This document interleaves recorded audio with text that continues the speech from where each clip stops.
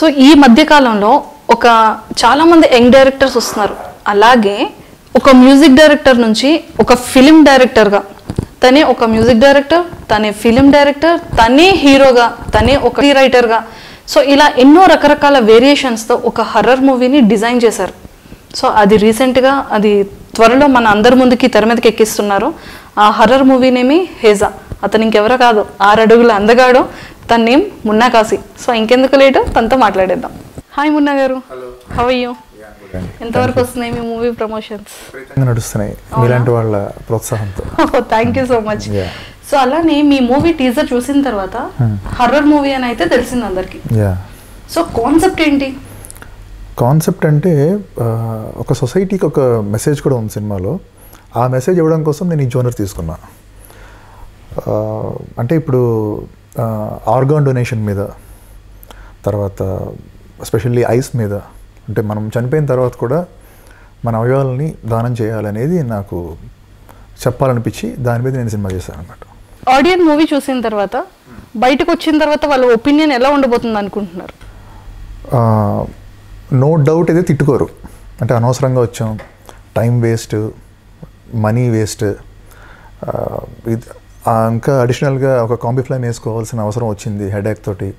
ఇలాంటివి ఏం లేకుండా డెఫినెట్గా ఒకసారి ఆలోచిస్తారు ఇంటికి వెళ్ళేటప్పుడు.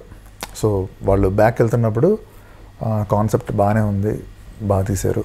గుడ్ ఫిలిం బోర్ కొట్టలేదు హ్యాపీగా వచ్చేసాం బయటికి. అంతే. ప్రతి ఒక్క డైరెక్టర్ కూడా ఒక ఫిలింని తను తీసిన తర్వాత టేక్ చేసిన తర్వాత మూవీ చూసుకున్న తర్వాత ఓకే ఫిలిం నేను చేసిన డైరెక్షన్ మాత్రం సూపర్ డూపర్ హిట్ అంటారు. సో అలాంటి థాటే మీ డైరెక్షన్ మీ మూవీలో కూడా మీకుందా? అంటే నాకు ఉంది కానీ నేను మరీ బ్లాక్ బాస్టర్ అయిపోతుంది ఇంకా లేదంటే ఇండస్ట్రీ రికార్డ్ అని చెప్పను కానీ డెఫినెట్గా ఇట్స్ అ గుడ్ ఫిలిం ఒక మంచి సినిమా చేసాము బోర్ కొట్టించలేదు. క్రిస్పీగా సినిమా వెళ్ళిపోయింది అట్లా. హ్యాపీ కొన్ని చోట్ల బాగా భయపెట్టారు అనేది డెఫినెట్గా ఉంటుంది.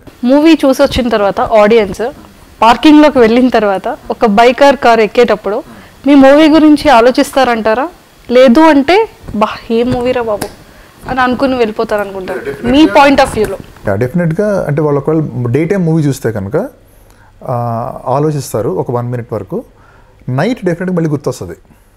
సో పడుకునేటప్పుడు ఏవైతే కొన్ని కొన్ని యాంగిల్స్లో డెవిల్ షాట్స్ ఉన్నాయో అవి కనిపించే అవకాశాలు సెవెన్ పర్సెంట్ ఉన్నాయి. అలా భయపడే భయపడి మళ్ళీ నన్ను ఒకసారి రీకలెక్ట్ చేసుకోవచ్చు అనమాట సో ప్రతి ఒక్క మూవీ డైరెక్టర్ కూడా తన మూవీ హండ్రెడ్ పర్సెంట్ సక్సెస్ అన్న కాన్ఫిడెంట్తో ఉంటారు. కరెక్ట్ సో మీరు ఏ టైప్ ఆఫ్ కాన్ఫిడెన్స్తో ఉన్నారు? డెఫినెట్గా అంటే నేనైతే కూడా అంటే సక్సెస్ అవుతుందని అనుకుంటున్నా సినిమా. ఎందుకంటే ఇప్పుడు నేను కూడా ఒక క్రిటిక్నే మన మన ఫిలిం మనం చూసుకున్నప్పుడు మనకు తెలిసిపోతుంది కదా. ఎక్కడ బోర్ కొడుతుంది ఎక్కడ ల్యాగ్ ఉంది ఎక్కడ ప్రాపర్గా లేదు ఎక్కడ లాజిక్స్ మిస్ అయిపోతున్నాయి ఇవన్నీ మనకు తెలిసిపోతాయి. సో అవన్నీ ప్రాపర్గా ఉండి మనకి ఫస్ట్ సినిమా నచ్చితే డెఫినెట్గా ఆడియన్స్కి నచ్చుతుంది అనే నమ్మకం నాకు ఉంది చాలా మూవీస్ రియాలిటీ కన్నా సినిమాటిక్గా చాలా ఉంటాయి. ఎగ్జాంపుల్ ఏదో ఒక లవ్ది స్టోరీ ఒక హీరో వచ్చేసి హీరోయిన్ని బస్ స్టాప్లో చూడడం ఇలాంటివి. ఇప్పటికీ కూడా ఈ టూ థౌజండ్ నైన్టీన్లో అది పాసిబుల్ అవుతుందంటారా? ఇక్కడ టూ టైప్స్ అండి. అంటే ఇప్పుడు ఒక అమ్మాయిని బస్ స్టాప్లో చూసి మిస్ అయిపోయి ఆ అమ్మాయి ఎటో వెళ్ళిపోయింది. సపోజ్ అది అదొక సిటీ అనుకోండి. ఇప్పుడు మన మన సిటీ ఉంది హైదరాబాద్ ఉంది. హైదరాబాద్లో ఎక్కడో మీరు దిల్షీనగర్లో ఒక అమ్మాయిని చూసా బస్ స్టాప్లో నేను. ఆ అమ్మాయిని క్యాచ్ చేయాలంటే ప్రాక్టికల్గా అంత ఈజీ కాదు. అంతే కదా ఆ బ- ఏదో బస్సు ఆ పిల్ల వెళ్ళిపోయింది. ఆ బస్సు దిల్షగర్ దిల్షుక్ నగర్ నుంచి పటాంజలి వెళ్ళిపోయింది అనుకోండి సపోజ్. ఎక్కడ క్యాచ్ చేస్తాం? అసలు ఆ పిల్ల ఎవరు? ఎక్కడ తిరుగుతుంది? రేపు మార్నింగ్ మళ్ళీ ఆ అమ్మాయి ఇక్కడికి వస్తుందని గ్యారంటీ ఏంటి? ఏం ఉండదు. కానీ సినిమాలో నెక్స్ట్ డే కూడా అదే బస్సు ఎక్కుతుంది అదే టైంకి. సో రియాలిటీలో చాలా కష్టం. అది డిఫరెన్స్. సో ఇందుకే దిల్షుక్ నగర్లో దొరికిందా లేదా అమ్మాయి? నాకు ఎవరు దొరుకుతారండి అంత హీరో చుట్టూ హీరో ఫ్రెండ్స్ హీరోని పొగడ్డం చాలా హైప్ చేయడం అలాగే హీరో ఫైట్స్ చేస్తూ ఉంటే ట్రాన్స్ఫారం పేలిపోతూ ఉండడం కార్స్లో వేస్తూ ఉండడం. సో ఇవన్నీ కూడా మూవీస్లో జరుగుతుంటాయి. మనం కామన్గా చూస్తున్నాం కదా. సో మీ మూవీలో కూడా ఈ టైప్ ఆఫ్ సీన్స్ ఉంటాయా? అసలు ఎక్స్పెక్ట్ చేయకూడదు. ఛాన్సే లేదు. ఓకే. సో రీ రికార్డింగ్ అంటే ఏంటి? అది ఏ రకంగా ఉంటుంది?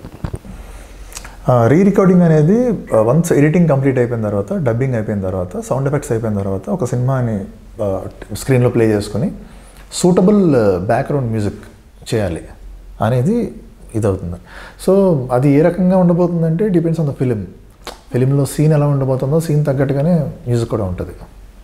యా సో రీ రికార్డింగ్లో కూడా బ్యాక్గ్రౌండ్ మ్యూజిక్ అనేది సేమ్ రిపీటెడ్గా ఉంటూ ఉంటాయి. కొన్ని మ్యూజిక్స్ కానీ స్కోర్స్ అలా రిపీట్ రిపీటెడ్గా ఉంటాయి. సో మీ మూవీలో కూడా అలాంటి రిపీట్ బ్యాక్గ్రౌండ్ మ్యూజిక్స్ ఏమైనా ఉన్నాయా? టూ టైప్స్ అండి. అంటే ఒక- థీమ్ కంపోజ్ చేసినప్పుడు సినిమాలో ఆ థీమ్ని మాటి మాటికి ప్రజెంట్ చేయడం అనేది రిపీట్ అయినా తప్పలేదు. అప్పుడు ఏమవుతుందంటే చూసే వాళ్ళకి మనం దాన్ని మనం వాళ్ళ మైండ్లో దాన్ని ఎక్కిస్తున్నాం ఇన్సర్ట్ చేస్తున్నాం స్లోగా సో ఆ స్పెసిఫిక్ థీమ్ అనేది బిగినింగ్లో వచ్చింది అనుకోండి ఇంటర్వెల్ బ్యాంక్లో రావచ్చు అగైన్ మళ్ళీ క్లైమాక్స్లో కూడా రావచ్చు. అలా వస్తే ఇంకా మంచిది కూడా. వినేవాళ్ళకి కూడా ఓ అప్పుడు వచ్చింది ఇది ఇది మనకి ఇది మనం విన్నాం కదా అనే ఫీలింగ్తో వాళ్ళు ఇంకా బాగా వింటారు. కానీ అన్ని సినిమాల్లో ఇప్పుడు ఒక సినిమాలో వాడిన థీమ్ని మళ్ళీ మరో సినిమాలో వాడకూడదు. అది ఎవరైనా అంతే. సో అట్లా ఏంటంటే రెగ్యులర్గా కొంచెం నాకు ఇప్పుడు విలన్ రాగానే ఒక సోమ్ సేమ్ సేమ్ సోమ్ ఇలాంటివి ఏమైతే మనం వింటూ ఉంటాం బయట అలాంటివి హెజా అనే సినిమాలో ఉండవు. సో ఒక సాంగ్ని కంపోజ్ చేసే విధానం ఏంటి? ఒక సాంగ్ని కంపోజ్ చేయాలంటే సిచ్యువేషన్ ఫస్ట్ మనల్ని మనల్ని దాంట్లో మూడ్లోకి తీసుకెళ్ళాలి. అది లవ్ సిచ్యువేషనా సాడా లేదంటే హ్యాపీ మూడ్లో ఉన్నారా ఏంటనేది. సిచ్యువేషన్ బట్టి ఓపెన్గా మనం క్రియేటివ్లోకి వరల్డ్లోకి వెళ్ళిపోతే ఒక ఐడియా వస్తుంది. ఆ ఐడియాలోంచి ఒక సాంగ్ వస్తుంది ఒక ట్యూన్ వస్తుంది. అంటే వితౌట్ లిరిక్స్ అనమాట ఆ ట్యూన్ని మనం హమ్ చేసిన తర్వాత ఆ ట్యూన్ ఒకవేళ ఆ సిచ్యువేషన్కి సూటబుల్ అని డైరెక్టర్గా అనిపిస్తే ఒకవేళ ఆ ట్యూన్ ఓకే చేసుకుంటే అప్పుడు లిరిసిస్ట్ వస్తారు. అతను ఈ మీటర్కి తగ్గట్టుగా వాళ్ళు సాంగ్ రాస్తారు. ఆ నెక్స్ట్ మ్యూజిషియన్స్ తోటి బీజిఎమ్స్ అండ్ సింగర్ని పిలిపించి పాట పాడించడం అండ్ మిక్సింగ్ అండ్ మాస్టరింగ్ ఇది this is the procedure so అట్లా ఒక సాంగ్ కంపోజ్ చేయబడుతుంది. లిరిక్స్ బట్టి ట్యూన్ని కంపోజ్ చేస్తారా? లేదు అంటే ట్యూన్ అయిన తర్వాత లిరిక్స్కి ఎలా ట్యూన్ని లింక్ చేస్తారు? రెండు చేస్తారు. ఓకే. కానీ ఎయిటీ పర్సెంట్ ఇప్పుడు ఉన్న రోజుల్లో ఫస్ట్ ట్యూన్ ఇచ్చేస్తారు. ఆ ట్యూన్కి లిరిసిస్ట్లో పాట రాస్తారు. లిరిక్స్ ఇచ్చిన తర్వాత ట్యూన్ చేయడం అనేది కూడా చాలా గొప్ప విషయం. అంటే దాంట్లో మళ్ళీ లిరిక్స్ రాసేవాళ్ళు ప్రాపర్గా ఒక మీటర్ తగ్గట్టుగా రాయాలి. అలా రాస్తే ట్యూన్ చేసే వాళ్ళకి చాలా ఈజీ అవుతుంది. లిరిక్స్ రాసేవాళ్ళు ఒక ఏదో ఒక కావ్యాలు రాసినట్టుగా రాసుకుంటూ వెళ్ళిపోతే దాన్ని ట్యూన్ చేయడం మీటర్లో చాలా కష్టం కంపోజర్స్కి. ఈ రోజుల్లో ఇప్పుడున్న సినిమాల్లో నాకు తెలిసి ఒక seventy to eighty percent tune ఇచ్చేసిన తర్వాత దానికి లిరిక్స్ రాస్తారు. అంతేగాని లిరిక్ తెచ్చుకుని దానికి ట్యూన్ చేసే రోజులైతే ఇవి కాదు. కొన్ని సినిమాలు ఉంటాయి అట్లా. నేను లాస్ట్ విన్నది శ్రీరామరాజ్యం అనే సినిమాకి ఇళయరాజా గారికి లిరిక్ ముందు ఇచ్చేసారంట దానికి ఆయన ట్యూన్ చేశారంట. అలా రేర్గా ఉంటాయి అలా నాకు తెలిసి. ఈ మూవీలో టెక్నికల్గా ఎలాంటి కేర్ తీసుకున్నారు? టెక్నికల్గా ఎందుకు కేర్ తీసుకోవాలి అంటే తీసుకున్నాను. కెమెరా వర్క్ ఒకటి తర్వాత బ్యాక్గ్రౌండ్ స్కోర్ ఒకటి. ఈ రెండు వెరీ వెరీ అంటే sound and visual so visual పరంగా ఏంటంటే లైట్ ప్రొసెసింగ్ అంతా చాలా బాగా తీసుకున్నాం. లైట్స్ ప్రాపర్గా యూజ్ చేయాలి. అంటే లైటింగ్ అనేది బాగుండాలి. ఎన్ని లైట్లు వాడేది మ్యాటర్ కాదు. లైటింగ్ అనుకున్నట్టుగా వచ్చిందా లేదా అనేది వెరీ ఇంపార్టెంట్ సో దానికి డిఓపి సపోర్ట్ కావాలి. ఆల్సో మన యాంబియన్స్ ఎలా క్రియేట్ చేస్తున్నాం? అది ఎంత ఇంపాక్ట్ క్రియేట్ చేయబోతోంది? ఎఫెక్టివ్గా ఉందా లేదా నైట్ మోడ్స్కి ఇవన్నీ బాగా కేర్ తీసుకోవాలి. ఆల్సో డిఐ అనే ఒక డిపార్ట్మెంట్ ఉంటుంది. చాలామంది వాళ్ళ గురించి చెప్పరే మనకు తెలియదు కానీ మనం వాళ్ళని కూడా అప్రిషియేట్ చేయాలి. మా సినిమాకి ప్రసాద్ ల్యాబ్లో రామూర్తి గారని ఒక ఆయన ఉన్నారు కలరిస్ట్ ఆయన. సో ఆయన చాలా బాగా చేశారు. కోర్స్ మేమే మాకు ఎలా కావాలో అలాగే చేస్తారు. కాకపోతే కలరిస్టులకి కూడా మనం చాలా వాల్యూ ఇవ్వాలి. ఒక ఒక రా ఫుటేజ్ పట్టుకొచ్చి డిఏలో పెట్టిన తర్వాత వాళ్ళు దాన్ని మార్చి మనకు ఒక బ్యూటిఫుల్గా బయట తీసుకొస్తారు. కానీ బయట ఏమవుతుందంటే ఆడియన్స్కి ఇవన్నీ చాలామంది తెలియదు కదా. సో డిఓపి ఎవరు అనే క్వశ్చన్ ఒకటే వస్తుంది బయటికి.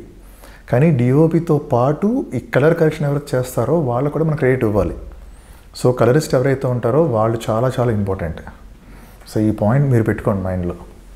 యా వీలైతే ఇలా ఎవరైతే కలర్స్ చేస్తారో డిఏలో కలరిస్టులు మీరు వాళ్ళతో ఎప్పుడైనా ఇంటర్వ్యూ చేయండి.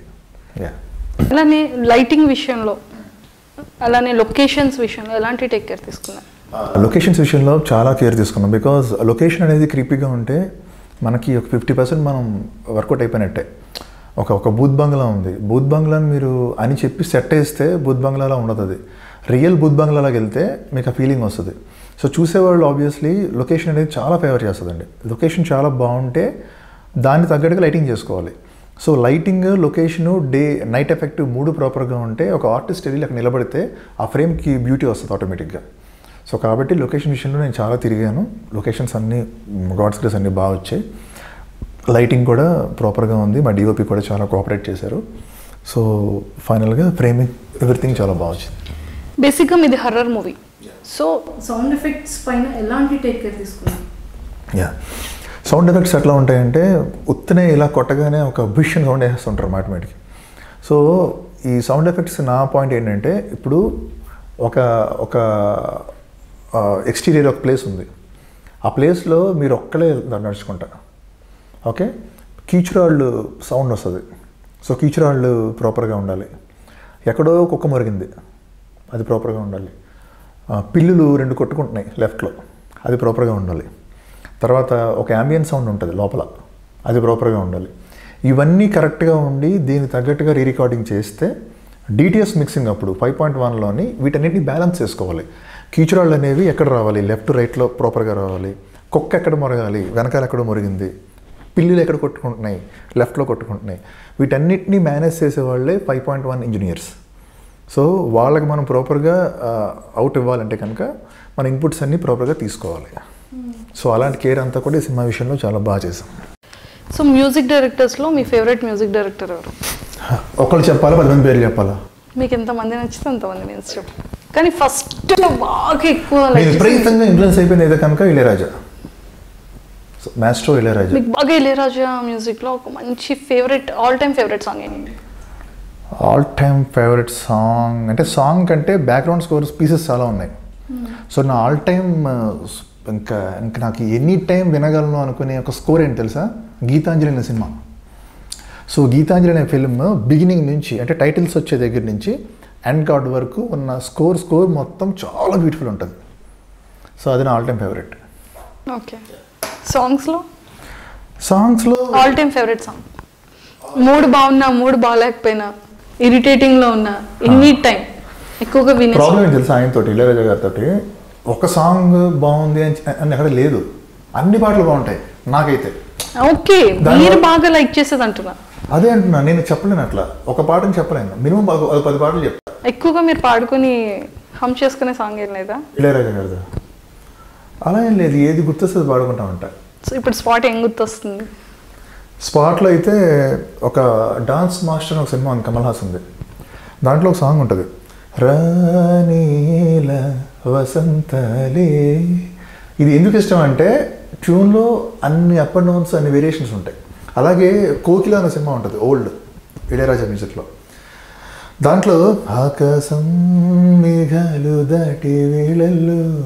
ఆ సాంగ్లో చరణంలో చాలా వేరియేషన్స్ ఉంటాయి. అంటే major minor major minor changeovers అనమాట సో అలా ఒక టిపికల్గా వెరీ లేదంటే ఒక డిఫరెంట్గా చాలా కష్టంగా అనిపిస్తుంది నాకు. అంటే సింగర్స్ ప్రాపర్గా పాడేవాళ్ళే అవన్నీ ప్రాపర్గా విత్ ల్యాండింగ్స్ పాడగలరు. సో అందువల్ల అవి కొంచెం బాగా కష్టంగా అనిపిస్తాయి బట్ చాలా బాగా నచ్చుతాయి నాకు. ఓకే. సో మీ మూవీలో ఎక్కువ డే షూట్స్ జరిగిందా నైట్ షూట్స్ ఎక్కువ జరిగింది. సెవెంటీ ఫైవ్ పర్సెంట్ అదా నైట్ షూట్ మిగతా అంతా కూడా డే షూట్ సినిమాటోగ్రఫీలో మీ ఫేవరెట్ ఎవరు? సినిమాటోగ్రఫీలో నాకు ఊహ తెలిసి అద్భుతం అని అనుకున్నది పిసి శ్రీరామ్ అండ్ మధు అంబట్ తర్వాత సంతోష్ శివన్. రీసెంట్గా రత్నవేల్. సో వీళ్ళ వర్క్స్ నాకు బాగా నచ్చుతాయి. తర్వాత విందా గారిని ఒక ఆయన సమ్మోహనం అనే ఫిలిం చేశారు. అదొకటి. వీళ్ళు నాకు బాగా నచ్చుతారు. ఓకే. సో కంపోజర్స్కి నిజంగా కర్ణాటిక్ రావాలంటారా? రావాలంటారంటే రావాలి నిజానికి అయితే. అంటే నేర్చుకుంటే మంచిది కదా. ఎవరు ఎవరికి అంటే సబ్జెక్ట్ ఎంత వస్తే అంత మంచిది. సో సబ్జెక్ట్ బాగా ఉన్న వాళ్ళు ఇప్పటికి కూడా వాళ్ళు లాంగ్ రన్లో ఉంటారు. సో గాలిపాటలు కూడా ట్యూన్ కట్టొచ్చు. గాలిపాటలు గాలిపాటలు చేయొచ్చు. యా అంటే కంపోజ్ చేయడం అనేది డిఫరెంట్ అదే కంపోజర్ ఎవరైనా అయి ఉండొచ్చు. అంటే రెండు రకాలు ఉంటాయండి. ఒక ఒక ట్యూన్ కంపోజ్ చేయడం అనేది ఒక డిఫరెంట్ ఆర్ట్ ఒక బ్యాక్గ్రౌండ్ స్కోర్కి నొటేషన్ రాసి ఇలాగే ఉండాలి రాగం బేస్డ్లో ఉండాలి నా ఆర్డర్ ప్రకారం అందరూ ప్లే చేయాలి అనే కమాండ్ రావాలంటే మ్యూజిక్ రావాలి కంపల్సరీ డన్. సో మీకు ఎలాంటి లైటింగ్ ఇష్టం ఉంటుంది? ఫ్రేమింగ్ని ఎలా సెట్ చేసుకోవాలనుకుంటారు? నాకు ఫ్రేమింగ్స్లో ఎక్స్ట్రీమ్ క్లోజ్లు ఉంటాయి. అవి నచ్చవు అసలు నాకు. అంటే మొఖాల మీద కెమెరా పెడితేసి ఇప్పుడు సెవెంటీ ఎంఎంలో మీ ఫోర్ హెడ్ కట్ అయిపోయి చిన్ పార్ట్ వరకు వస్తుంది అనుకోండి అది మనం భరించలేము. అంత క్లోజ్లో. సో నాకు అన్నీ కూడా మిడ్ రేంజ్లో ఉంటే బాగా నచ్చుతాయి. ఆర్ ఎల్స్ ఎక్స్ట్రీమ్ వైడ్లో ఉండాలి. సో ఒక ఒక ఎక్స్ట్రీమ్ వైడ్ షాట్ ఒకటి ఒక మిడ్ రేంజ్ ఉండాలి. అండ్ ప్రొఫైల్ షాట్స్ సజెషన్స్ ఇవన్నీ ఉంటే కనుక ఎడిట్లో ప్రాపర్గా ఉంటుంది. అండ్ ఫ్రేమింగ్ విషయంలో ఏంటంటే డిపెండ్స్ ఆన్ ద సిచ్యువేషన్ ఇప్పుడు నైట్ మోడ్లో ఉన్నారు. మీరు ఎక్కడో ఒక పెద్ద డీప్ ఫారెస్ట్ చూపించాలనుకుంటున్నప్పుడు ఒక చెట్టు షాట్ని ఎక్కడో ఒక గ్రౌండ్ లెవెల్లో కెమెరా పెడితే మొత్తం అంతా క్యాప్చర్ అవుద్ది కంప్లీట్గా సో అలాంటి షార్ట్స్ కొన్ని బ్యూటీ ఉంటాయి. సో ఒక కొన్ని కొన్ని షార్ట్స్ కొంచెం పెయింటింగ్లా ఉంటాయి. సో ఒక ఫాగ్ క్రియేట్ చేసి ఒక పర్సన్ వాకింగ్ షార్ట్స్ ఏమైతే ఉంటాయో చెట్ల మధ్యలోంచి లైట్ రావడం ఇలాంటివి చాలా బాగుంటాయి. సో ఇవన్నీ నా చిన్నప్పటి నుంచి నేను ఎక్కువ మధు అంబట్ సినిమాలు అంటే అంజలి మణిరత్నం అంజలి అండ్ గీతాంజలి సో వీటిల్లో చాలా చూశాను అనమాట సో. అలాగే సినిమాటోగ్రఫర్స్లో ఎస్ గోపాల్ రెడ్డి గారు కూడా నాకు బాగా నచ్చుతుంది వర్క్. సో డైలాగ్స్ స్టైల్ ఎలా ఉండాలనుకుంటారు? డైలాగ్స్ నాకు పూరి జగన్నాథ్ గారు చాలా ఇష్టం అండి. ఓకే. వెరీ న్యాచురల్ చాలా లైవ్లీ ఉండాలి ఏదన్నా సరే. మన ఇద్దరం ఇప్పుడు ఎలా మాట్లాడుకుంటున్నామో సినిమాలో అలాగే ఉండాలి. ఏదో డైలాగ్ చెప్పేమని చెప్పడం అవన్నీ అంటే అవన్నీ సినిమాకి అవసరమైతే బాగుంటాయి. అక్కడ హీరో వాల్యూ ఉండి అవన్నీ ఉంటే బాగుంటాయి. బట్ కొత్త ఆర్టిస్టులు కాబట్టి ఎంత న్యాచురల్ వేలో ఉంటే అంత మంచిది. వినే చూసే వాళ్ళకి కూడా చాలా బాగుంటుంది నా ఒపీనియన్ అది సో బేసిక్గా ఎలాంటి మూవీస్ని లైక్ చేస్తారు? నేను అంటే నాకు నేను చూసే సినిమాల్లో సినిమా చాలా డీసెంట్గా ఉండాలి అంటే లాజిక్స్ ప్రాపర్గా ఉండాలి స్క్రిప్ట్ చాలా నీట్గా ఉండాలి అండ్ కొత్తగా ఉండాలి పాయింట్ ఏదో ఒక హుక్ పాయింట్ సినిమాలో ఉండాలి. తర్వాత టెక్నికల్గా కెమెరా వర్క్ బాగుండి ఎడిటింగ్ క్రిస్పీ ఉండి బ్యాక్గ్రౌండ్ స్కోర్ ప్రాపర్గా ఉంటే డెఫినెట్గా నేను ఇష్టపడతాను సో మీరు బేసిక్గా మ్యూజిక్ డైరెక్టర్. మ్యూజిక్ డైరెక్టర్ నుంచి మూవీ డైరెక్టర్కి ఎలా రావాలనిపించింది? యాక్చువల్లీ నేను ఫస్ట్ ఈ సినిమా అనుకున్నప్పుడు నేను లీడ్గా చేద్దాం అనుకున్నాను అనుకున్న తర్వాత నేను తెలిసిన ఒక అబ్బాయితో టైప్ అయినప్పుడు తను తను ఫస్ట్ డైరెక్షన్ తనకి ఇద్దాం అనుకున్నా. తను వేరే వర్క్లో ఏదో బిజీ అయిపోవడం వల్ల అప్పటికి నేను స్టోరీ ప్లాన్ చేసుకున్నాం. స్టోరీ మొత్తం నేను ప్రిపేర్ చేసేసాను. స్టోరీ అంతా అయిన తర్వాత దీనికి నేను యాక్ట్ చేయబోతున్నాను. సో ఇప్పుడు స్క్రీన్ ప్లే ఆల్రెడీ నేను చేసుకుంటాను. డైలాగ్స్ ఎలాగో నేనే రాసుకుంటాను స్పాట్లో. స్టోరీ నాది మ్యూజిక్ నాది. సో ప్రొడక్షన్ అంటే మా కో ప్రొడ్యూసర్స్ మా అంకుల్ చాలామంది ఉన్నారు దీంట్లో విఎన్ ఓలెటి గారు. సో ప్రొడక్షన్ వైజ్ కూడా నా హ్యాండ్ ఉంది కాబట్టి ఇన్ని క్రాఫ్ట్స్ నేను చేస్తున్నప్పుడు ఇప్పుడు ఈ డైరెక్షన్ తీసుకెళ్ళి వేరే ఎవరికైనా ఇస్తే కనుక నేను సినిమాని ఎలా చూస్తున్నానో అదే విజన్లో వాళ్ళు చూస్తారని గ్యారంటీ లేదు కదా. అందుకని నా ఫ్రెండ్ ఒక ఆయన ఉన్నారు. ఆయన చందు అని ఆయన పేరు. ఆయన కో డైరెక్టర్గా చేశారు ఈ సినిమాకి. ఆయన నాకు సలహా ఇచ్చారు. మీరు ఇన్ని క్రాఫ్ట్స్ చేస్తున్నప్పుడు డైరెక్షన్ మీరు ఏం చేయకూడదు?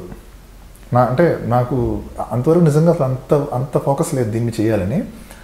మీకు అంటే ఆయనకు నేను స్టోరీ చెప్పాను. చెప్పినప్పుడు ఆయన ఒకటే అన్నారు. మీరు ఇంత క్లియర్ కట్గా ఇంత క్లారిటీతో సీన్ టు సీన్ అంత బాగా చెప్తున్నప్పుడు మీరే డైరెక్షన్ చేయండి. ఎవరికో ఇస్తే కూడా మళ్ళీ అది అటు ఇటు మిస్ మ్యాచ్ అవ్వచ్చు కదా అని చెప్పి ఆయన అనడంతో ఈవెన్ మనీ ఇన్వెస్ట్ చేసేవాళ్ళు మా అంకుల్ వీళ్ళందరూ కూడా ఏంటంటే uh, నువ్వు చేస్తేనే బాగుంటుంది. ఎందుకంటే నేను హారర్ ఫిలిమ్స్ని డీల్ చేయగలను అనే ఒక కాన్ఫిడెన్స్ వాళ్ళకి నా మీద ఉంది. బికాస్ నేను సరదాగా చాలా స్టోరీస్ చెప్పేవాడిని చాలామందికి స్పెషల్లీ హారర్ స్టోరీస్ అనమాట నేను మ్యూజిక్ కంపోజర్గా ఉన్నప్పుడు కూడా నా ఫస్ట్ ఫిలిం టైంలో కూడా మా డైరెక్టర్స్కి టీం అంతా ఉంటారు కదా ఏడీలందరూ కూడా వీళ్ళందరికీ విత్ బ్యాక్గ్రౌండ్ స్కోర్ నేను స్టోరీస్ చెప్పేవాడిని దయ్యాల కథలు. సో దానివల్ల నేను కూడా ఎందుకు స్టెప్ తీసుకున్నానంటే హారర్ ఫిల్మ్స్ని నేను డీల్ చేయగలను అనే నమ్మకం నాకు ఎక్కడో ఉంది. అదే ఇప్పుడు ఏ ఒక లవ్ స్టోరీయో ఇంకేదో అంటే నేను భయపడేవాడిని గ్యారంటీగా డైరెక్షన్ అంటే పెద్ద విషయం అని చెప్పి. కానీ ఈ కథ నా కథ మీద నాకు బాగా కమాండ్ ఉంది కాబట్టి ప్రతి సీన్ టు సీన్ ఏం చేయాలో తెలుసు కాబట్టి సో డిఓపి సపోర్ట్ నాకు ఉంది అండ్ కో డైరెక్టర్ సపోర్ట్ అందరూ ఉన్నారు కాబట్టి చల్ దిగిపోయా. సో అసలు బేసిక్గా న్యూ డైరెక్టర్ అంటే కమర్షియల్ మూవీ కానీ లేదు అంటే ఒక లవ్ స్టోరీస్ కానీ ఒక ఫ్యామిలీ ఎంటర్టైన్మెంట్ స్టోరీస్ కానీ లేదు అంటే ఇప్పుడు రియాలిటీగా చాలామంది పొలిటికల్ని చూపించేస్తున్నారు. రియల్ సో దాని మీద ఫోకస్ చేయకుండా మీరు హర్రర్ మీద ఫోకస్ చేశారేంటి? ఎందుకంటే నాకు ఇష్టమైన జోనర్ ఇది. హర్రర్ అంటే ఇష్టం. ఎందుకంటే ఇప్పుడు సో మీరు అలా బయట బయట ఎవరైనా పర్సన్స్కి అలా భయపెడుతుంటారా? అలా పెట్టను. ఎప్పుడైనా కరెంటు పోయినప్పుడు సరదాగా బయట వర్షం పడుతున్నప్పుడు హెవీగా మీకు టైం పాస్ కావాలి. సరే మనం ఏమైనా కబుర్లు చెప్పుకుందాం అనుకున్న టైంలో అసలు దెయ్యాలు నమ్ముతావా అని అడుగుతా ఫస్ట్. ఓకే. అనగానే ఏమవుతుందంటే నైట్ ఎఫెక్ట్లో మీకు నిజంగానే ఒక ఇంట్రెస్ట్ క్రియేట్ అవుతుంది. సో రెగ్యులర్ టాక్స్ అన్ని ఎప్పుడు మనం అనుకుంటాం కదా. దానికంటే ఇలా స్పెషల్గా ఏదైనా ఒక ఫోకస్ ఒక ఒక అటెన్షన్ డ్రా చేయాలి అనే టాపిక్స్లో హోరర్ ఒకటి. కొంతమంది భయపడచ్చు కొంతమందికి ఇంట్రెస్ట్ బాగుండొచ్చు వినడానికి కొంతమంది అసలు వినడానికి ఇష్టపడకపోవచ్చు రకరకాలుగా ఉంటాయి కదా. సో చిన్నప్పటి నుంచి ఈ హారర్ స్టోరీస్ మీద నాకు బాగా ఇంట్రెస్ట్ ఉండడం వల్ల ఈ జోనర్ కాబట్టి నేను దాంట్లోనే స్టోరీ డిజైన్ చేసుకొని దాంట్లోనే డైరెక్షన్ దిగాను. ఎలాంటి సీన్స్ చూస్తే బ్యాక్గ్రౌండ్ మ్యూజిక్ని అద్భుతంగా చేయాలనిపిస్తుంది? సీన్ అద్భుతంగా ఉన్నప్పుడు. ఓకే. యా. అంటే జస్ట్ ఎగ్జాంపుల్ చెప్పండి. అంటే ఇప్పుడు ఎక్కువ అంటే కొంచెం ల్యాగ్ ఉండాలి. అంటే స్కోర్ చేయడానికి ఒక స్కోప్ ఉండాలి. ఇప్పుడు ఒక లవ్ సీన్ ఉందండి. లవ్ సీన్ ఇద్దరి మధ్యలో ఇద్దరు డిపార్ట్ అయిపోతున్నారు. ఓకే? అప్పుడు ఒక స్కోర్ మనం అక్కడ క్రియేట్ చేయాలి. ఇలాంటి సీన్స్ ఉన్నప్పుడు కొంత ల్యాగ్ ఉంటే అంటే కొంచెం అలా స్లో మోషన్లో వాళ్ళు వెళ్ళడం తర్వాత ఏదో సిలౌట్ షాట్లో ఇద్దరు నిలబడడం ఇద్దరి మధ్య డైలాగ్ లేకుండా ఉండడం ఎక్కువ డైలాగ్స్ లేకుండా అలా తక్కువ ఓన్లీ లుక్స్ అండ్ ఎమోషన్స్ దీంతో రన్ అయ్యే సీక్వెన్స్ ఏమైతే ఉంటుందో అలాంటి టైమ్స్లో మన సినిమాలో ఆల్రెడీ ఒక పాపులర్ సాంగ్ ఏమైతే లవ్ సాంగ్ ఉందో వాళ్ళిద్దరి మధ్యలో దాన్ని మనం ఒక సాడ్ వెర్షన్ క్రియేట్ చేసుకుని మెలోడియస్గా ఒక హార్ట్కి దగ్గర అయ్యేలాగా కొంచెం పెయిన్ క్రియేట్ అయ్యేలాగా చేసుకోవడానికి ఆస్కారం ఉంటుంది. సో మీ మూవీస్లో సీన్ బట్టి బ్యాక్గ్రౌండ్ మ్యూజిక్ని చేస్తారా? లేదు అంటే బ్యాక్గ్రౌండ్ మ్యూజిక్ బట్టి సీన్ని చేస్తారా? అంటే ఎయిటీ పర్సెంట్ ఎవరైనా సరే సీన్ బట్టే స్కోర్ చేస్తారు. అంటే ఇది హర్రర్ మూవీ కదా? హారర్ మూవీకి ఏం చేయొచ్చు అంటే కొన్ని కొన్ని ట్రాక్స్ మనం ముందు చేసుకుంటాం ముందుగా కూడా. చేసుకున్నవి సెట్ కాదు అప్పుడే. ఎప్పుడు సెట్ అవుతాయి అంటే ఎడిట్ అయ్యాక సెట్ అవుతాయి మహా అయితే. ఓకే ఎడిట్ రూమ్లో ఒక సీన్ ఎడిటింగ్ అయిపోయిన తర్వాత మనం ఆల్రెడీ చేసి పెట్టుకున్న ట్రాక్ ఏమైతే ఉంటుందో దాన్ని పోనీ బిట్ బిట్ సింక్ చేసామంటే సింక్ అయ్యే అవకాశాలు ఉంటాయి. కానీ లొకేషన్లోని అదే సౌండ్ ట్రాక్ తోటి దానికి తగ్గట్టుగా తీయడం అనేది అంత ఈజీ కాదు అంత సెట్ కాదని నాకు అనిపిస్తుంది.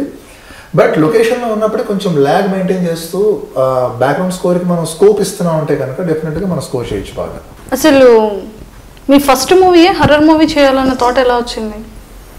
బికాజ్ నాకు ఇష్టం కాబట్టి హారర్ ఫిలిమ్స్ ఇంకొకటి ఏంటంటే యా మంచి ప్రశ్న ఇది. ఇప్పుడు నా ఫస్ట్ ఫిలిం నేను ఒక లవ్ స్టోరీ తీసుకుంటే నన్ను ఎవరు చూస్తారు లవ్ స్టోరీలో? అంటే నా ఇది నా నాలో ఉన్న ప్రశ్న చెప్తున్నాను నేను. నేను ఎందుకు తీసుకున్నా చెప్తా. లవ్ స్టోరీస్ చేయాలంటే ఒకటి డైరెక్షన్ బాగుండాలి.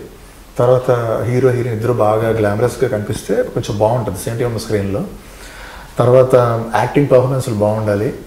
తర్వాత సాంగ్స్ చాలా బాగుండాలి. అండ్ సినిమాటోగ్రఫీ చాలా కేర్ తీసుకుని ఇవన్నీ ఒక ప్రాపర్ వేలో ఎమోషన్ క్యారీ అయితే కనుక అది కూడా కొత్త ముఖాలు కాబట్టి అది విపరీతంగా పబ్లిసిటీ చేసి రీచ్ అయ్యేలా ఉంటే జనం థియేటర్స్ రావచ్చు. అదర్వైజ్ ఏంటంటే ఎవరు చూస్తారు అనే భయం నాకు ఉంది ఇంకొకటి కామెడీ. కామెడీ చేయడం అంత ఈజీ కాదు. చాలా కష్టం అది. ఇప్పుడు. కొంతమంది ఉంటారండి. మీరు మీరు ఏం జోక్ వేస్తే నవ్వుతారో నాకు అర్థం కాదు. అలానే కొంతమంది జోక్ నిజంగా జోక్ కూడా నవ్వరు.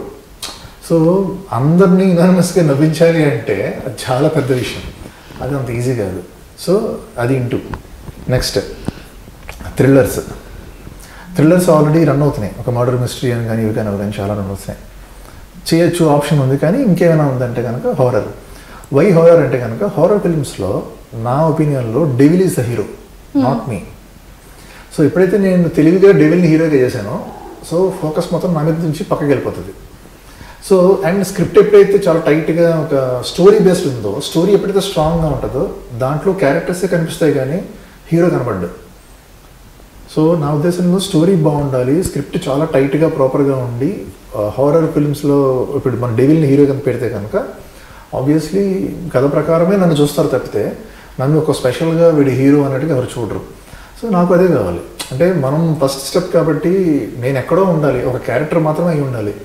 ఫిలిం ఎండ్ వచ్చేసరికల్లా నేను దాంట్లో హీరో అవ్వాలి. తప్పితే బిగినింగ్ సీన్ నుంచి నేను హీరోలో బిహేవ్ చేయకూడదు. సో నా నా థింకింగ్ అట్లా ఉంటుంది. కాబట్టి నేను నమ్మాల్సింది స్క్రిప్ట్ సో కథే హీరో. స్టోరీ ఎప్పుడైతే హీరోగా ఉంటుందో ఆబ్వియస్గా స్టోరీలో యాక్ట్ చేసే హీరోలకు కూడా పార్ట్ నేమ్ వస్తుంది. అందుకని నేను ఈ జోనర్ తీసుకున్నాను ప్రతి ఒక్క young directors first film direct చేసే డైరెక్టర్స్ కొత్త new directors first love stories మీద లేదంటే కమర్షియల్ మూవీస్ మీద లేదు అంటే ఇప్పుడు రియాలిటీగా జరుగుతున్న కొన్ని కాన్సెప్ట్స్ తీసుకొని పొలిటికల్ కానీ లవ్ స్టోరీస్ కానీ ఇలాంటివి చేస్తున్నారు. మరి మీరేంటి కొత్తగా హర్రర్ మూవీ చేశారు? ఒకటేనండి హారర్ ఫిల్మ్స్ని ఇష్టపడే వాళ్ళు చాలామంది ఉన్నారు బయట. నిజానికి ఉన్నారు. ఎందుకంటే ఒక థ్రిల్ ఫీల్ అవ్వడం కోసం. థియేటర్లోకి వెళ్ళిన తర్వాత సంథింగ్ ఏదైనా ఒక చిన్న ఒక జర్క్ ఫీల్ అవ్వడం కోసం.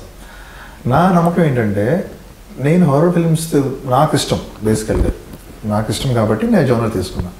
అండ్ సౌండ్ అనేది దానికి చాలా ఇంపార్టెంట్ సో. మ్యూజిక్ అనే డిపార్ట్మెంట్ నా హ్యాండ్లో ఆల్రెడీ ఉంది కాబట్టి నేను మ్యూజిక్ని పెట్టుకుని డిఓపిని మంచిగా పెట్టుకుని ప్రాపర్గా ఫిలింని సెట్ చేసుకుని సరదాగా చిన్న జరికిద్దాం అందరికీ అనే దాని మీద అంటే నేను ఎలా ఫీల్ అవుతానో అదే నేను థింక్ చేసి ఈ జోన్లో తీసుకున్నాను లవ్ స్టోరీస్ కమర్షియల్గా చేయొచ్చు. కాకపోతే ఏమో నాకు అలా అనిపించలేదు. నాకు నాకు దీంతోనే లాంచ్ అవ్వాలనిపించింది.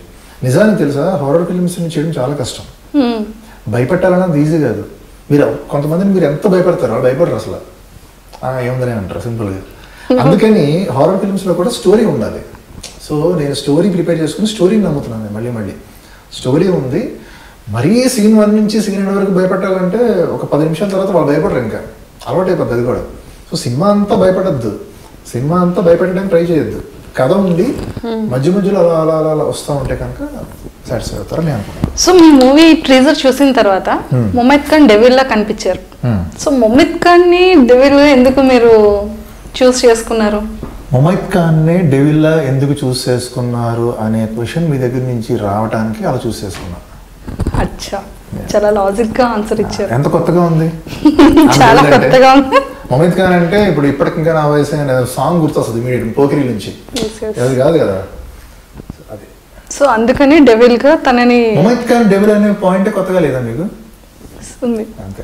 అందుకని తీసుకున్నాను నాకు కొత్తగా అనిపించింది. అనిపించి బట్టి తీసుకున్నాను మూవీలో కూడా తనిఖీల బర్ని గారు ఉన్నారని చెప్పి. తెలిసింది సో అతనితో ఎక్స్పీరియన్స్ ఎలా అనిపించింది? అంటే వెరీ ఎక్స్పీరియన్స్ యాక్టర్ కదా చాలా పెద్ద సీనియర్ యాక్టర్.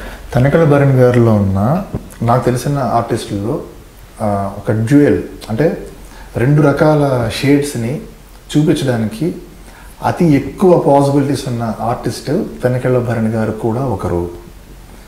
ఆయన పాజిటివ్గా ఉంటారు నెగిటివ్గా కూడా సెట్ సెట్ అయిపోతారు బాగా. సో ఆ రెండు షేడ్స్ ఎవరెవరికి ఉన్నాయి అని నేను లిస్ట్ వేసుకుంటే ఆ లిస్ట్లో నాకు ఫస్ట్ తట్టిన వ్యక్తి తనికెళ్ళ భరణ్ గారు.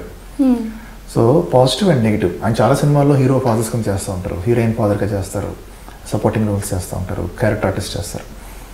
ఆయన మీరు నోటీస్ చేస్తే రామ్ గోపాల్ వర్మస్ ఒక డాక్టర్ ఆయన ఒక సైకాటిస్ట్ ఆయన అలాగే దయ్యం ఆర్జీఎస్ దాంట్లో స్పెషల్ అపీరెన్స్ ఉంటుంది. అలాగే ఆయన గాయంలో ఒక ప్రొఫెషనల్ లాయర్ బేసికల్ విలన్ ఆయన రామరెడ్డికి రైట్ హ్యాండ్ ఉంటారు సో ఆ తర్వాత మనీ సినిమాలో ఒక ఇండస్ట్రీలో టచ్ చేస్తే అది అని ఒక క్యారెక్టర్.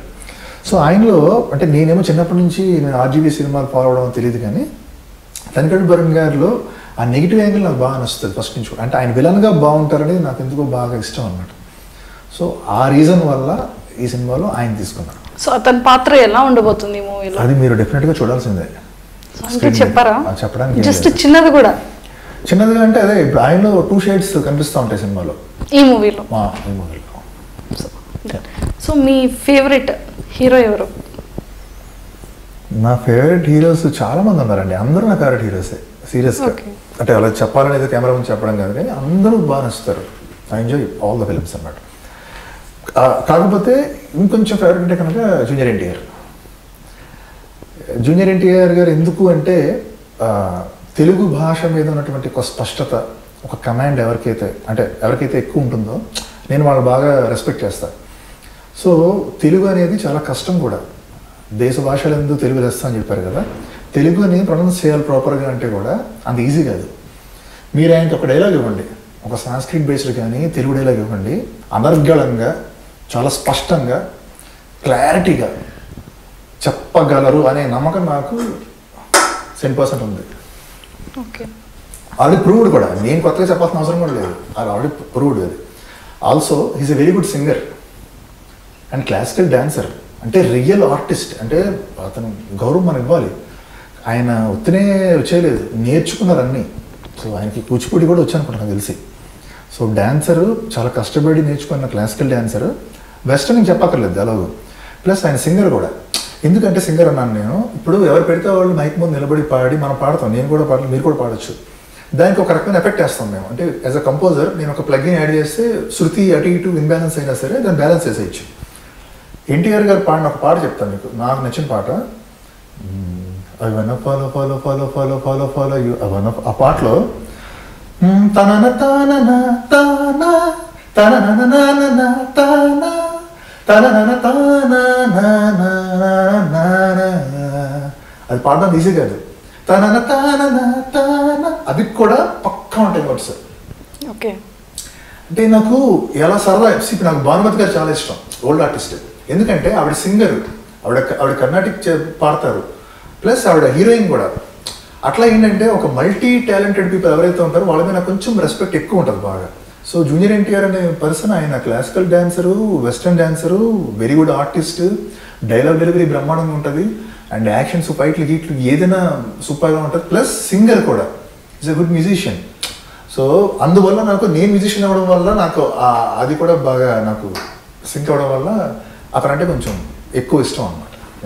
సో ఫైనల్లీ మీ favourite hero young tiger NTR so NTR గారిది సీనియర్ ఎన్టీఆర్ గారిది ఒకవేళ సాంగ్ రిమేక్ చేస్తే ఈ ఈ జూనియర్ ఎన్టీఆర్ గారికి ఈ సీనియర్ ఎన్టీఆర్ది ఏ సాంగ్ అయితే బాగుంటుంది?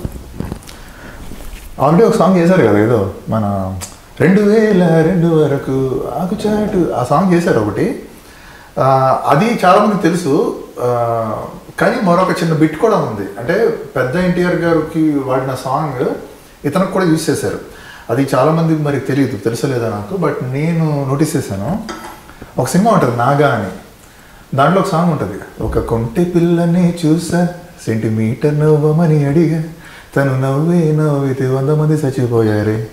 బాబు బాబు. కదా? ఆ పాటలో బాబు బాబు అయిపోయిన తర్వాత లలలు లలలు లలలు లలలు లలలు. ఇది ఉంటుంది ఇది సీనియర్ ఎన్టీఆర్ గారి సినిమా ఉంటుంది పాతాళ భైరవి అని.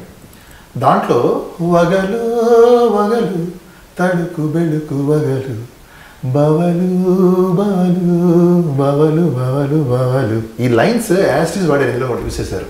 ఓకే. సో ఇది చాలా మంది ఒకటి సేఫ్ వచ్చాము కానీ ఒక లింక్ ఉంది అక్కడ కూడా.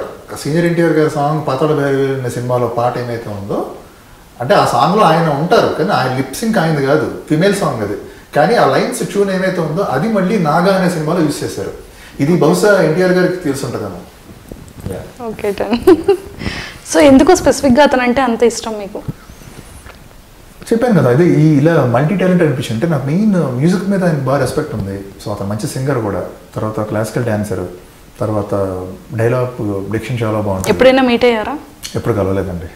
ఓకే సో ఒకవేళ ఇన్ కేస్ ఆపర్చునిటీ వచ్చి అతన్ని కలిస్తే ఫస్ట్ ఏం మాట్లాడతారు తారక్ గారితో? ఫస్ట్ మీరు చాలా మంచి సింగర్ అని చెప్తా. ఓకే యా అంటే మీరు మ్యూజిక్ డైరెక్టర్ అనా? అంటే బేసికలీ అంటే నేను మ్యూజిక్ లవర్ని కదా. నా నా డిపార్ట్మెంట్ అది కాబట్టి నేను ఆ యాంగిల్లో అతను బాగా దగ్గరయ్యాను కాబట్టి నాకు ఫస్ట్ అదే చెప్తా. చాలా మంచి సింగర్ ఆబ్వియస్లీ మంచి డాన్సర్ మంచి ఆర్టిస్ట్ మంచి పర్ఫార్మర్ అంటే స్టార్డమ్ ఉండడం is different thing and artist మనలో ఉన్న కూడా వెరీ ఇంపార్టెంట్ అంటే చాలా తక్కువ మంది ఆర్టిస్ట్గా ఉండి స్టార్ ఇమేజ్ తెచ్చుకుంటారు. వాళ్ళు ఆర్టిస్టులు కూడా అంటే వాళ్ళు ఇంకా రియల్ టాలెంట్ పర్సన్స్ అందరూ కూడా. సో ఇప్పుడు క్లాసికల్ డాన్సర్స్ అనేది మనం రెస్పెక్ట్ చేయాలి కదా. బయట చాలా మంది Yes, అద్భుతంగా. వాళ్ళ కష్టం ఉంటుంది. అది అది వచ్చి ఇటు సింగింగ్ తెలిసి తర్వాత ఒక మ్యూజిక్ మంచి మా కమాండ్ ఉండి ఒక నాలెడ్జ్ ఉండి ఒక మంచి టేస్ట్ ఉండి వీటన్నిటితో పాటు మళ్ళీ యాజ్ అన్ ఆర్టిస్ట్ మళ్ళీ పర్ఫార్మెన్స్ ఉండి దాంతో పాటు స్టార్ ఇమేజ్ తెచ్చుకోవడం అనేది it's not an easy task it's not an easy thing even so అన్నీ ఉండబట్టి I respect him a lot me favourite food ఏంటి? బంగాళదుంపల fry and tomato rasam. Super. So favourite spot place Ooty. Ooty బాగా enjoy చేస్తారు. Single drive చేస్తారా ఫ్రెండ్స్తో వెళ్తారా? Depends అది time బట్టి. సో ఫేవరెట్ కలర్ ఏంటి? బ్లాక్ బ్లాక్ సో మీరు చాలా చూడడానికి చాలా గ్లామర్గా ఉన్నారు కదా? సో మీ డైట్ ఫిట్నెస్ సీక్రెట్స్ ఏంటి? మనకి అందుబాటులో ఉండే మంచినీళ్ళు అంతే అంటే మీ హ్యాండ్సమ్కి రహస్యం వాటర్. ఒకవేళ నిజంగా మీకు హ్యాండ్సమ్గా అనిపిస్తే నా నా రహస్యం మంచినీళ్ళే okay. Water.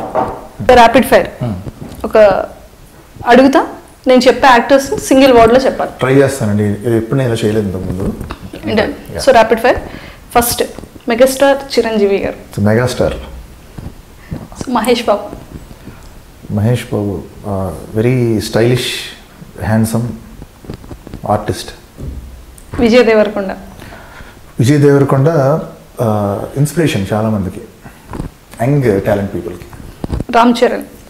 Ram Charan very stylish very down to earth good dancer good artist Rajamouli garu.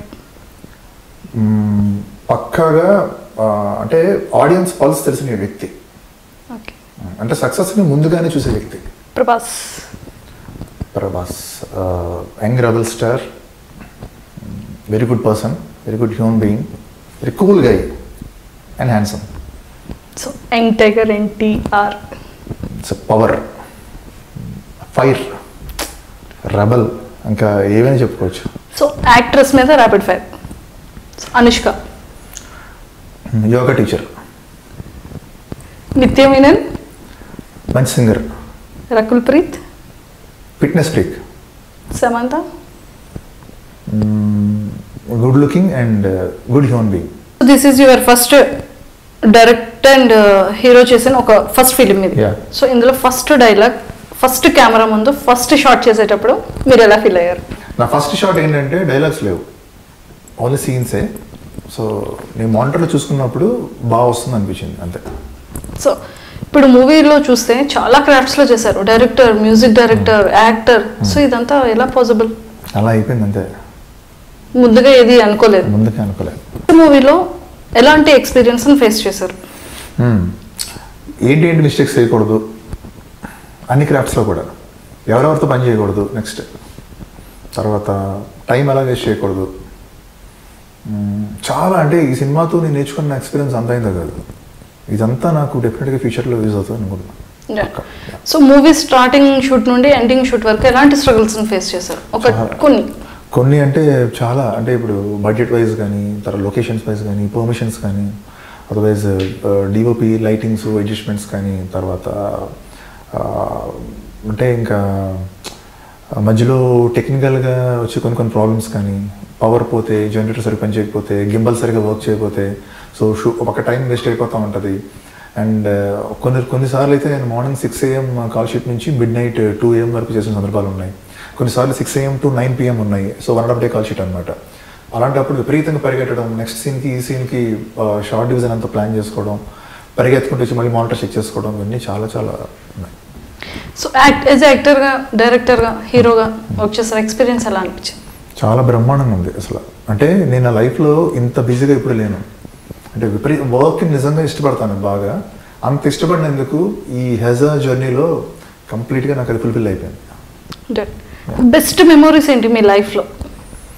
నాకు ఎంబీఏ గోల్డ్ మెడల్ వచ్చినప్పుడు తర్వాత అమెరికన్ వీసా నాకు బిజినెస్ వీసా వచ్చినప్పుడు అండ్ ఇన్స్టాగ్రామ్లో వెరిఫికేషన్ బ్యా బ్యాట్ వచ్చినప్పుడు హెజా సినిమాలో ఇప్పుడు నేను డైరెక్టర్గా హీరోగా చేస్తున్నప్పుడు. తర్వాత నా first audio function mister seven S Rangarao garu dance and hero launch చేయడు ఆ రోజు ఇవన్నీ నా జీవితంలో మంచి ఎక్స్పీరియన్సెస్ సో ఫ్యామిలీ సైడ్ నుంచి ఫ్రెండ్స్ సైడ్ నుంచి ఈ మూవీ డైరెక్ట్ చేస్తానన్నప్పుడు కానీ హీరోగా మీరు యాక్ట్ చేస్తానన్నప్పుడు కానీ అన్నీ మీరే అవుతున్నప్పుడు ఎలాంటి సపోర్ట్ వచ్చింది? చాలా మంచి సపోర్ట్ వచ్చింది విపరీతంగా.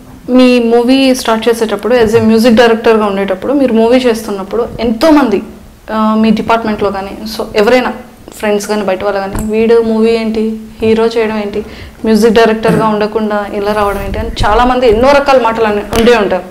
సో ఆ టైంలో మీరు ఎలా ఫీల్ అయ్యారో అలాంటి వాళ్ళకి మీరు ఇచ్చే ఆన్సర్ ఏంటి? అంటే వన్ థింగ్ అంటే నా ముందు ఎవరు అనలేదు.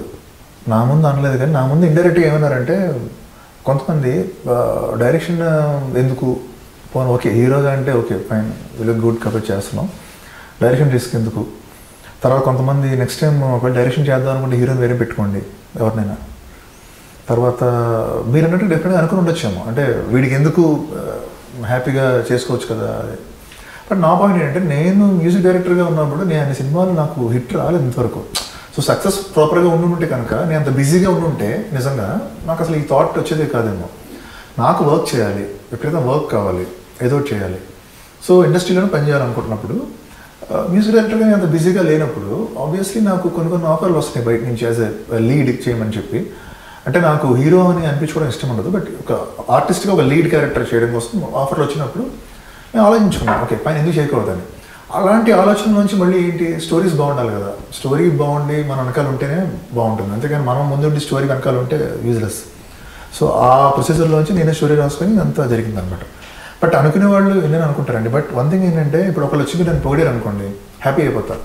తిట్టారు అనుకోండి ఫీల్ అయిపోతాం కదా. నేను ఎలా ఫిక్స్ అయ్యానంటే ఈ- నేను వన్స్ పబ్లిక్ డే పబ్లిక్ ప్లేస్లో పబ్లిక్ డయాస్లో ఎంటర్ అయిన తర్వాత తిట్టేవాళ్ళు తిడతారు పొగిడేవాళ్ళు పొగుడతారు.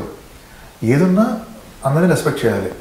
మీరు తిట్టారనుకోండి I respect you no problem అది మీ ఒపీనియన్ మీ ఒపీనియన్కి మీరు ఒక టైం నా మీద కేటాయించి నన్ను వీడి చెత్త వేస్ట్ అని తిడుతున్నారు కదా ఐ రెస్పెక్ట్ దట్ హ్యాపీ అలా తిట్టినందుకు మీకు నేను చాలా వాల్యూ ఇస్తున్నాను. హ్యాపీ నో ప్రాబ్లం మీరు మీరు నా కోసం కొంచెం టైం కేటాయిస్తున్నారు కదా యూనో అంత.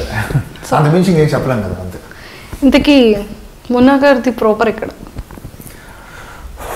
నేటివ్ అంటే నర్సీపట్నం విశాఖపట్నం ఓకే. దగ్గర యా అండ్ స్కూలింగ్ చిన్నప్పుడు బిహెచ్పి వైజాగ్ మధ్యలో మళ్ళీ నర్సీపట్నం మళ్ళీ వైజాగ్ ఎంబీఏ సో అంతా సో ఎడ్యుకేషన్ అంతా కూడా Vizag. Vizag.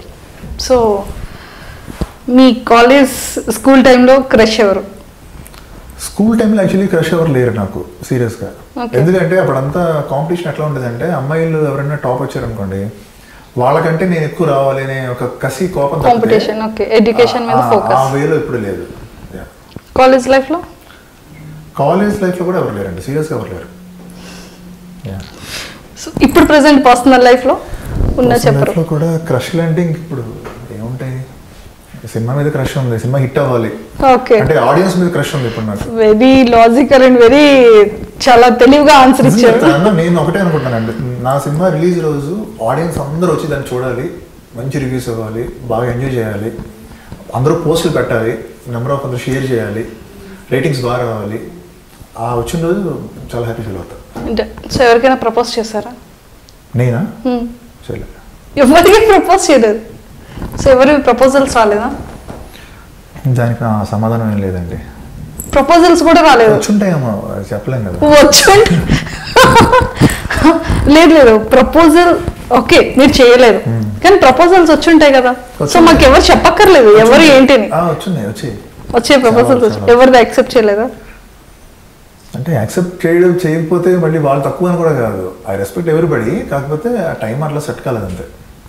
So very good so ఎవరినైనా లైఫ్లో బాగా మిస్ అయ్యానన్న ఫీలింగ్ ఏమైనా ఉందా? డెఫినెట్గా ఉంది. సో ది బాగా చాలా సాడ్గా ఫీల్ అయిన మూమెంట్ ఏదైనా ఉందా చాలా లైఫ్లో భయంకరంగా ఉంది. అవునా? ఏది ఎందుకంటే అది నా పర్సనల్ ఇంకా. ఓకే. అది మళ్ళీ ఇప్పుడు చెప్పి ఇంతమందిని బాధపడాల్సిన అవసరం లేదు కదా. అందుకని. ఇంకా పర్సనల్ పర్సనల్ పెడదాం. చాలా చాలా అంటే చాలా డిప్రెస్ అయిన సందర్భాలు ఉన్నాయి. ఓకే. ఓకే. సో ఇప్పుడు present life as of now అయితే కొంచెం బాగుంది బట్ టెన్షన్ భయంకరంగా ఉంది. అంటే ఈ సినిమా రిజల్ట్ రిపోర్ట్స్ ఇవి అవి ఇప్పుడు రీచ్ అవ్వాలి పబ్లిసిటీ ఎలా అవుతుందో. సపోర్ట్ లేని ఇలాంటి మా మాలాంటి వ్యక్తులకి మరి మీలాంటి మీడియా పీపుల్ అండ్ ఆడియన్స్ అందరూ సపోర్ట్ కావాలి కాబట్టి దీన్ని ఎంత హైప్ చేసి తీసుకెళ్తారో దాన్ని బట్టి దాని దానికోసం వెయిట్ చేస్తాను యాక్చువల్లీ నేను. హండ్రెడ్ పర్సెంట్ మీరు అనుకున్న విధంగా రీచ్ అవుతుంది. మూవీ కూడా బ్లాక్ బస్టర్ అవుతుంది. సో దీని గురించి అయితే టెన్షన్ పడద్దు. సో అలానే ఎలాంటి అమ్మాయిల్ని లైక్ చేస్తారు మీరు? నాకు గర్ల్స్ Qualities. చాలా మెచ్యూర్డ్గా ఉండాలండి. సో థింకింగ్ బాగుండాలి. హెల్పింగ్ నేచర్ ఉండాలి. అండ్ మంచిగా అంటే ఎక్కువ అబ్బాయిలు ఒక ఎయిటీ పర్సెంట్ అబ్బాయిలు చాలా పాజిటివ్గా ఇదిగా ఉంటారు. సో ఎక్కువ అబ్బాయిలా ఆలోచించగలగాలి. గర్ల్స్ కూడా. అంటే వెరీ ఫ్రెండ్లీ హ్యాపీగా అంటే ఒక స్వార్థం అసూయ ఈర్ష్య ఇలాంటివి లేకుండా చాలా హెల్తీగా పాజిటివ్గా ఉంటే నాకు బాగా నచ్చుతారు. సో మ్యారేజ్ చేసుకున్న అమ్మాయిలు ఎలాంటి క్వాలిటీస్ కావాలి? ఇప్పుడు చెప్పాను కదా దీని మీనింగ్ అది ఆబ్వియస్లీ ఇప్పుడు ఎలాంటి అమ్మాయి ఇష్టపడతాం చెప్పాను కదా అదే ఉంటుంది ఆన్సర్ కూడా. So copy paste so finally మీ మీ- మూవీ గురించి Hmm. పీపుల్కి ఏం చెప్పాలనుకుంటున్నారు? Hmm. ఎలా చూడాలనుకుంటున్నారు? Hmm. హెజా అనే సినిమా డెఫినెట్గా స- మంచి సినిమా. ఒక మెసేజ్ లాస్ట్లో ఉంది. దానికోసం సినిమా చేయడం జరిగింది. డెఫినెట్గా మీకు అన్నెసరిగా మీకు మీ టైం నేను వేస్ట్ చేయదలుచుకోలేదు. డెఫినెట్గా మీకు మీ టైం మీకు సేవ్ అవుతుంది. మీరు బాగా ఎంజాయ్ చేస్తారు. ఆ సినిమా చాలా క్రిస్ప్గా ఏం చెప్పాలనుకుంటున్నామో అదే చెప్పాను. స్టోరీ కూడా బాగుంటుంది అండ్ మ్యూజిక్ బాగా మీకు నచ్చుతుంది. సో ఫైనలీ ఒక one hour fifty five minutes మీరు అలా సరదాగా థియేటర్లోకి వెళ్ళి ఒక ఎక్స్పీరియన్స్ ఫేస్ చేద్దాం అనుకుంటే ప్లీజ్ డూ వాచ్ హెజర్